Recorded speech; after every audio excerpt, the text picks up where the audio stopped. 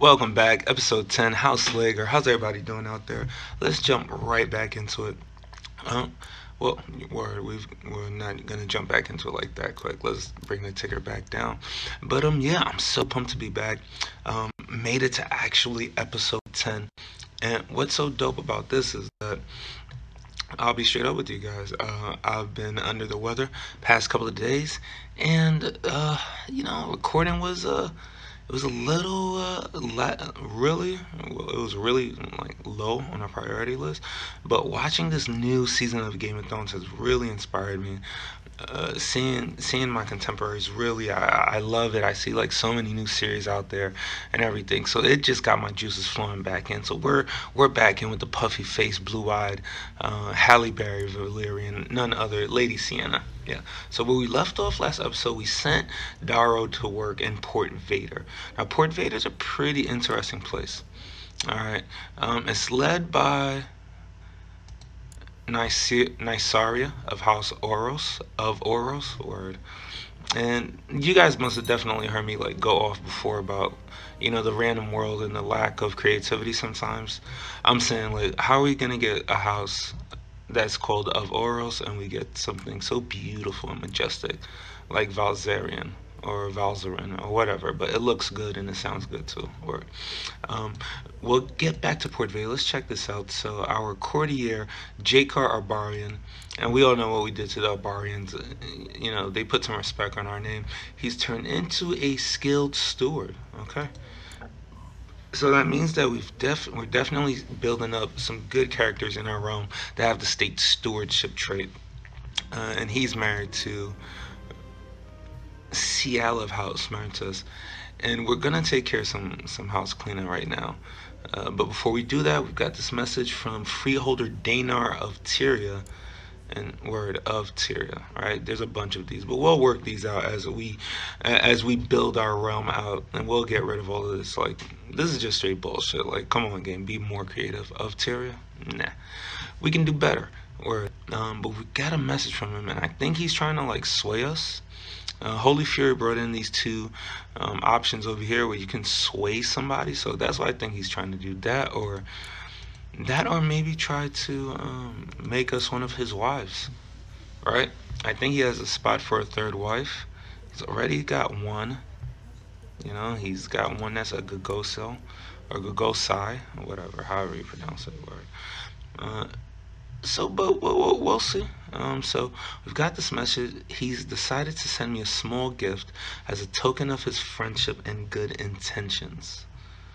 Okay, very thoughtful. We'll get 25 prestige. We'll take it. But uh, back to Port Vader. So Nysaria, right? Um, good trope tutor. Her demont is about 5,262. So she's definitely probably like been recently in a skirmish or been raided or something like that. Um, Port Vader is actually part of the High Lordship of Mysa Fear, and that's led by Lady Dayla of House Daycris. Uh, now, Mysa Fear is not that big of a lordship in its own right, right? It's got a demont of 2009 men. So whenever we end up um, taking over or, you know, setting our sights really on the lordship of Port Vader. Gonna be a little, gonna be a little uh, skirmish over here, but we're we're looking forward to that. I gotta. I saw this chair drop, so that means that we lost somebody. All right. And before we go into like who we lost, let's get back over to Ciala of House Merinthus. Now, House Merinthus, again, because the game isn't too creative with this house names and everything. We've got actually two House Merinthus currently in our realm. We've got the House Merinthus that is the current rulers of the lordship of the Marble Mount of the Marble Mountains, and we've got House Merinthus, which is a noble house within our realm. So what we're gonna do is we're gonna switch up the house name of Merinthus within our realm. So let's actually no, I'm not gonna go off too far from Merinthus, but maybe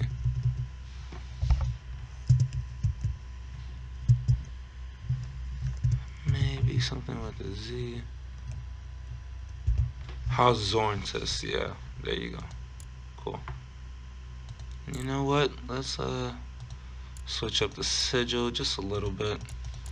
have a little fun with it. So I, I still like the green. Won't go to like dragon heavy. see if they have something with coin. Yeah, a lot of beetles. Okay, elephants, birds. Okay, I like this. So, alright. Alright, so now we have, this is better. We've got a proper, proper custom house now. Alright, so Ciel of House Zorintis, right? She's, um, but she's married to, matrimonially married to Jakar Abarian. So, the Abarians, they're, they're currently still ruling in Binaros, which is okay, which is okay. Not a, not, not too much of a big deal. We're gonna work on getting them out, but right now, Sienna, right? Sienna has a couple of things, right? She can be twiddling her thumbs and waiting for her army to get back in, or we can kind of like delve into our realm just a little bit more and uh, see what else is out there because we know diplomatically where we want to be, right? We're expanding to the Marble Mountains and hopefully Port Vader, but what is going on um, behind the scenes, right? She's got four kids, she's unmarried, so there's definitely some things realm-wise that we'll be focused on, on, and maybe, um, maybe some things outside of Valyria as well. All right, but before we do that, let's let's check this out. So we've got this requisition from Alix that he wants us to spend about 40 pieces of gold on something, and we'll get 25 prestige. You know what? Yeah, I'm sorry, I'm just not a big fan of uh, spending money.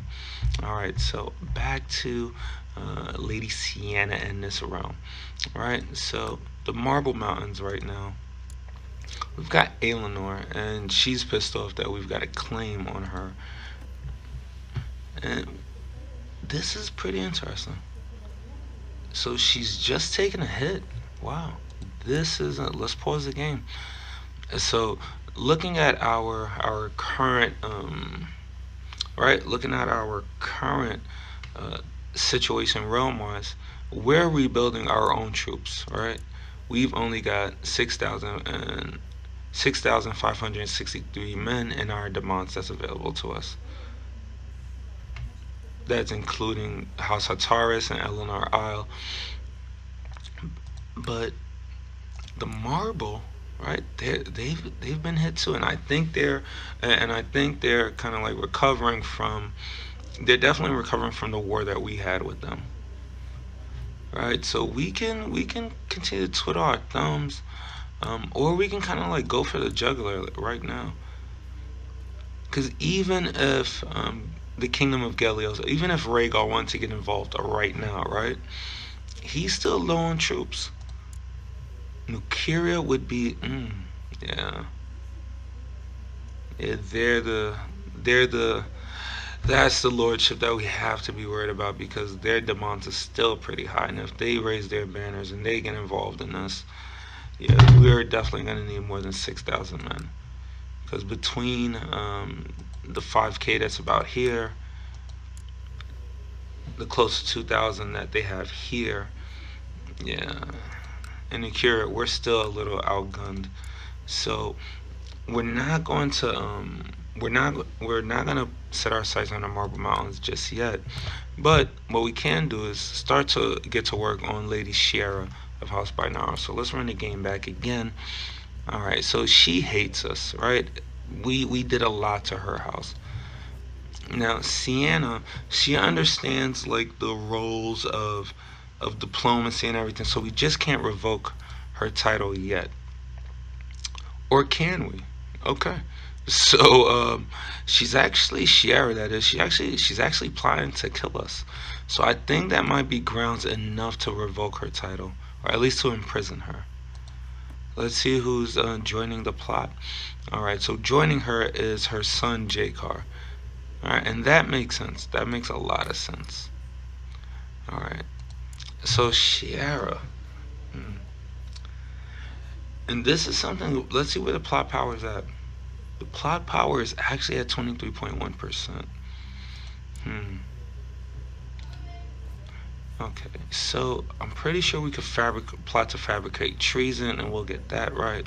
But if we imprison right now, we have a 32% chance of success based on um, the relative intrigue. But if we fa- if we fail, and she declares war on us, um, nobody's gonna care because she's leading a plot to try to kill us right now.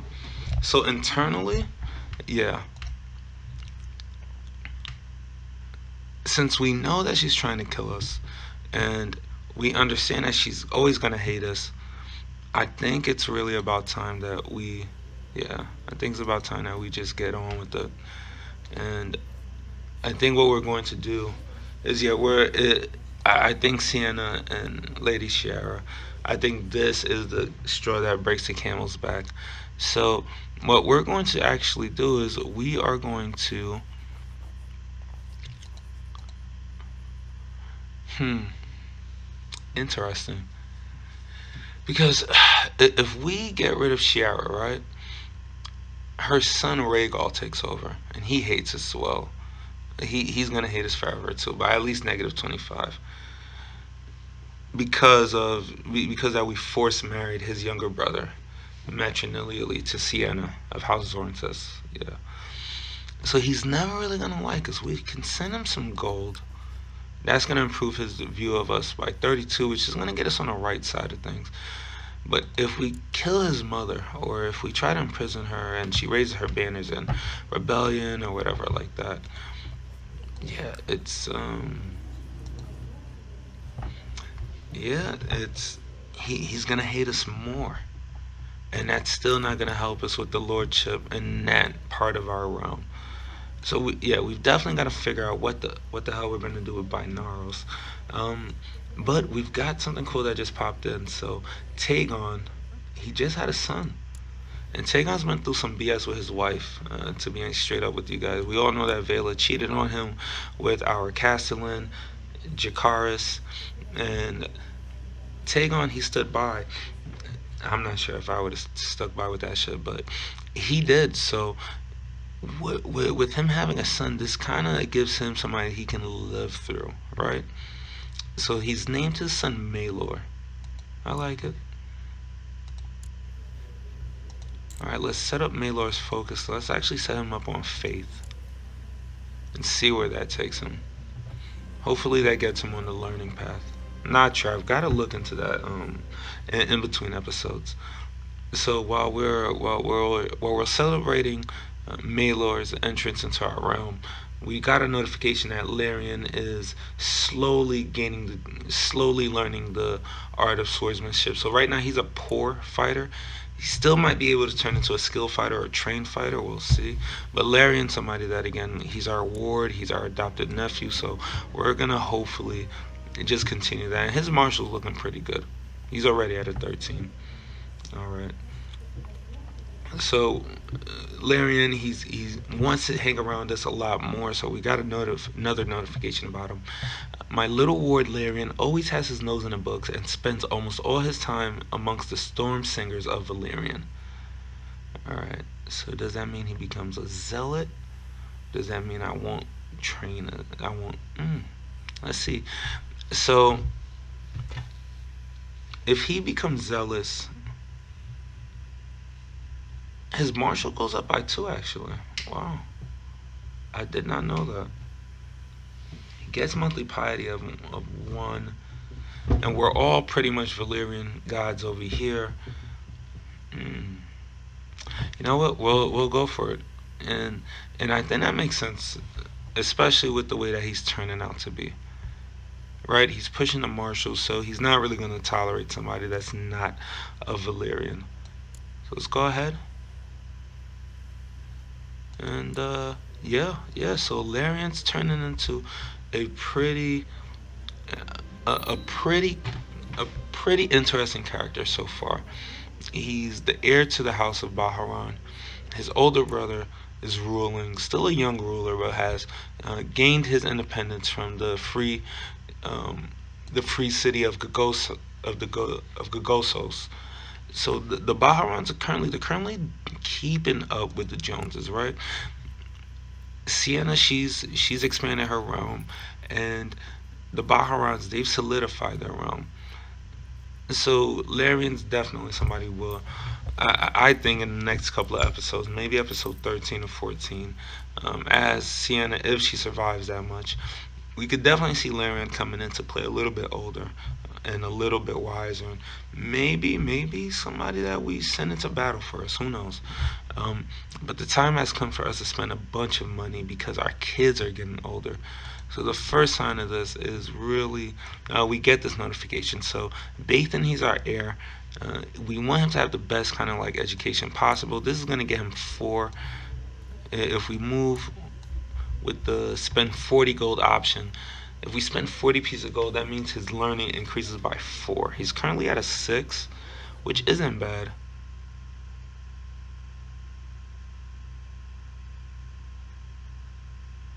And that really assists with the education outcome, which we're going to push for to be a martial focus.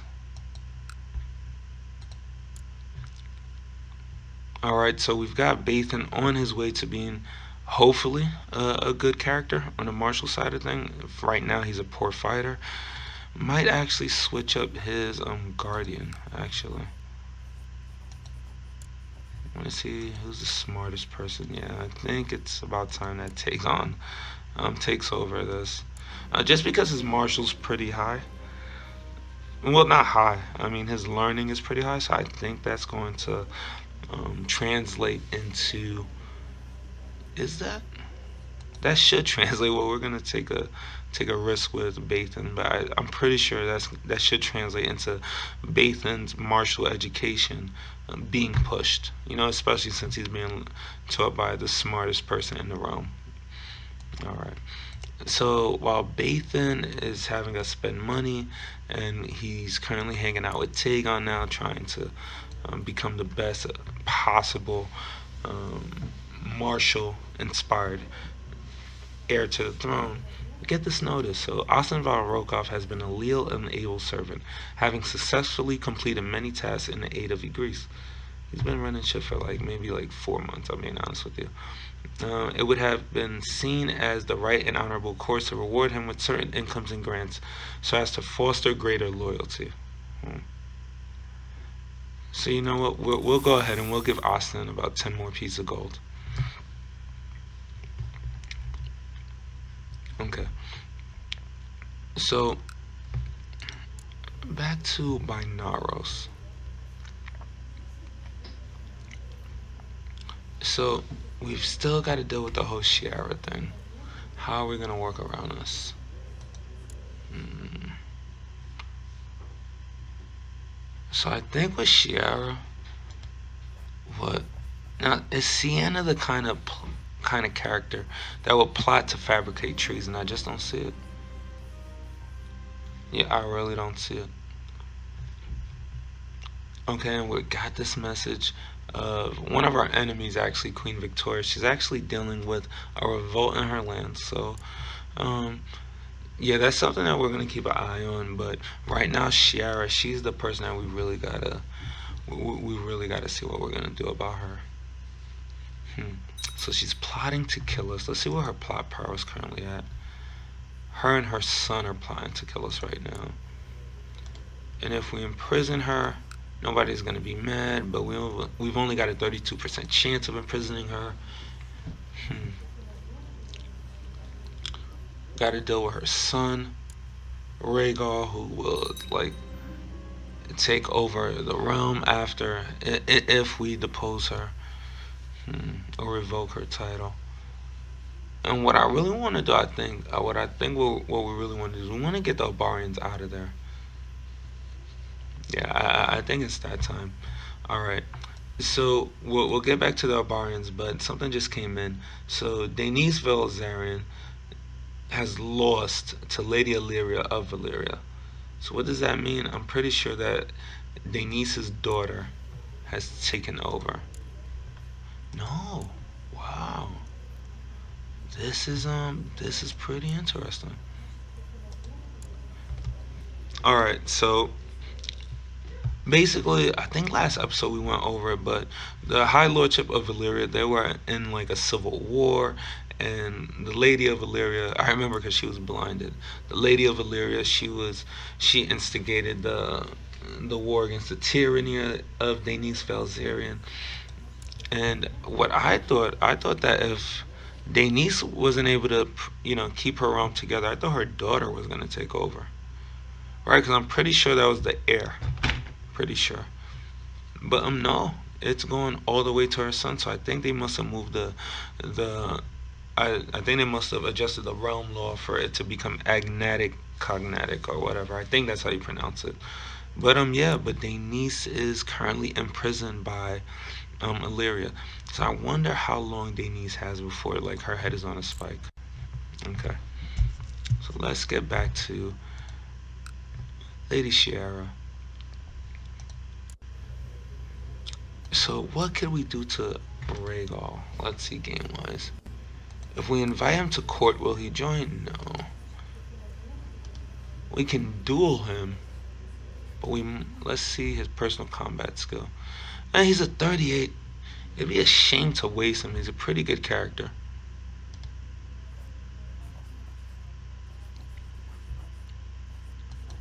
He he is a pretty good character. But sending him sending him 15 pieces of gold, I just don't think it's worth it. Not his mom, not his mom. Let's see his mom. Now his mom, if we go, if we revoke her title, then we're gonna be, we're gonna get like the whole tyranny shit, and that's something that, yeah, Sienna's not a tyrant. I think she rules kind of like justly, but with a strong fist, especially after what she did to the um, Obarians. So, but I don't want to get the whole tyrant thing going on. If we imprison her, Alright? Because of her plot to try to because of her plot to try to kill us she might she might she might like raise her banners. And is that something that we can afford right now? I know we could take out toe to toe because she only has like 209 men. But yeah and I think we could survive Gelios but could we survive Nikaria and the Marvels all getting back for a round two especially with our troop totals only like we're like we're we're getting close to 8,000. We're not even at 8,000 yet. Hmm. So you know what? Yeah. I think um I think what we're going to I think the smartest thing to do, right? Let's go to our council. Let's see what they would say. We have Jacaerys who doesn't really do anything. He's just kind of like worried about yeah, what is he worried about, right? He doesn't really do anything for me as of yet. Let's see what we currently have them doing, and, and we're reaching to reaching out to our accounts to see like what some some of these characters would say. Hmm. You have, all right. So let, let's get through this notification first. So we're, we're reaching out to our council, but we get this information about Lord Freeholder Daenar and his insistent um, attempts to try to, you know, getting well not getting our pants or like anything but to get cool with us so let's check it out. Lord freeholder dana has been very insistent about spending some time with me recently.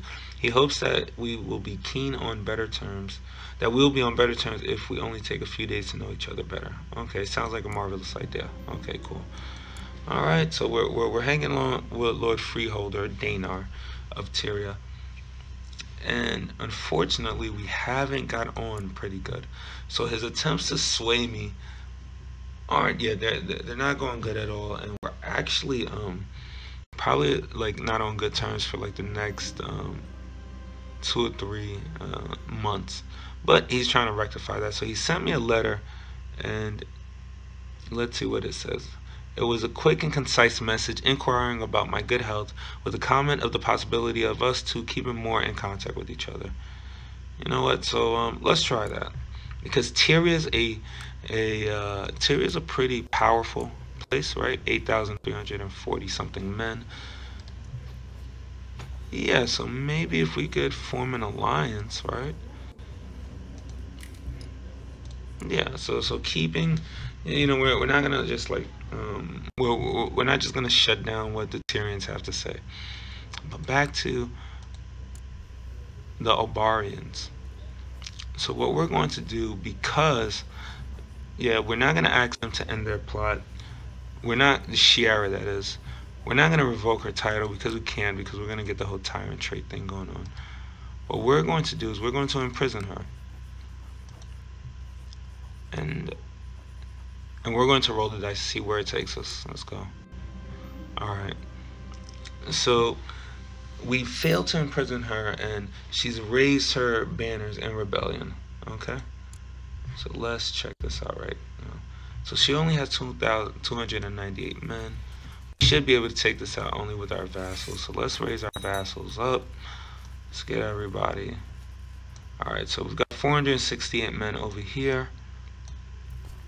Those are the men from Eleanor Isle. So, so we've got them moving.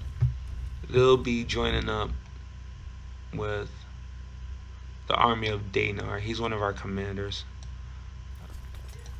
Alright, so we've got um, choose from our city of Pyrrhus. And that is choose from Laenor. Not sure who this guy is.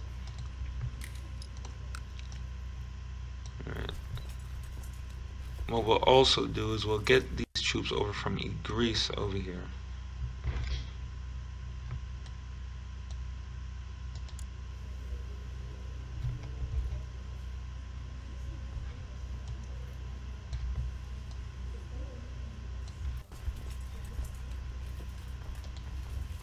Alright, so right now we should get close to about 1,200 troops, a little bit more.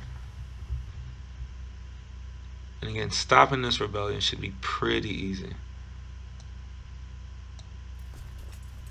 So interesting move. Yeah, really interesting move. The forces of Binaros has actually fled on ships, so they've actually abandoned. Yeah, that's crazy. They've actually abandoned the lordship of Binaros. What do they have in plans? Now I don't think they don't they have wildfire here, so I'm not sure they would be setting up a trap. But yeah, we'll, keep our troops going here, and while while we're yeah, you guys see it right? Yeah, I'm not gonna shit on him. You guys see it. I can't front on him. While we're while we're leading our troops um, with Laenor and Danar. We've left Austenra and Rokoff down in Pyrrhus to kind of like just protect our holding down there. And we get a message from Darrow sent by a raven that figured out that we were on our way to Binaros, he, he sends the raven there to meet us. And while we're on our way there, one of our men shoot down that, shoot them down, fearing that it's an arrow heading to Binaros from maybe the new High Lordship of Valyria, maybe the Kingdom of Gelios, but we're going to intercept everything like that. Uh, thinking that it's a raven to uh, our enemies, no, it's actually a raven to Lady Sienna, and we get this message from Darrow. My liege, my work in Port Vader seems to have come to fruition. By bribing, cajoling, extorting, threatening, and forging documents, I have managed to fabricate a claim on the lordship of Port Vader, presently held by Lady Lysaria of Port Vader. I leave it up to you whether to press it or not. Yeah, we're definitely going to press it. All right, and we've got two amazing claims that I'll be honest with you, we can't really waste too much time on this battle. Right? We're we're gonna deal with the Obarians once and for all. Yeah, I, I think uh, I think Rhaegal. I think we might have to kill him. I'm not sure, but yeah, it, we've got to get rid of them once and for all. And wow, look at this! Look at this! These troops. You know what? They're actually yeah, that's crazy. The the Obarians have actually taken their troops and they've descended on the lordship of Greece. Yeah. And yet, it's not looking good for them. But yeah, you guys are gonna have to wait for the next episode to figure out how this one wraps up. Crazy episode. Darrow has pulled it off again. That is uh, yeah, to think about where he came from right? The schmuck that I was like getting on at the end of the episode. But um, yeah, you guys have been dope as always. Take it easy, hit that like button, subscribe, put on your OGs, and yeah, join that Discord. Join that Discord. A lot of dope stuff happening on that Discord. But I'm out of here. Take it easy. Peace. Bye.